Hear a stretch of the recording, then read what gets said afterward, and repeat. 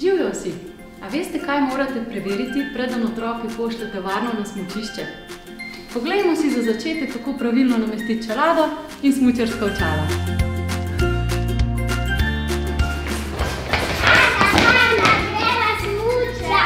Ja, živjo, kaj pa vidimo tu? A smučat bi rada šla? Ja. Pa se vam zdi, da ste pripravljena? Ja. Hm, jaz pa nisem čist prepričana. Maj, kje pa imaš smučarska očala? Pa se jih imam. Ta niso prava.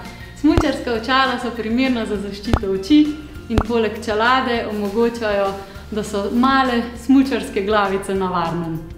Nina, a ti veš, kako preveriš, če ti je čelada prav in si pravilno potem namestiš očala? Ja, ja, sam tem ti še enkrat povem, da bom zagotovo vedela. Pa bomo vse preverili.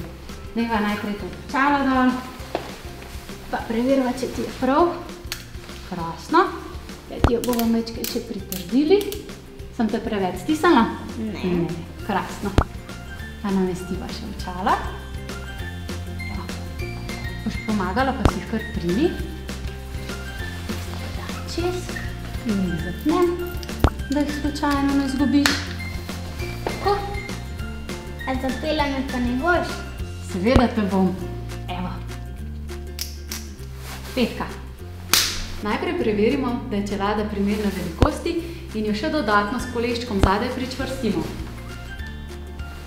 Zapnemo varnostni pašček, namestimo očala in jih potem še dodatno pričvrstimo z varnostno zaponko. Pa smo pripravljeni.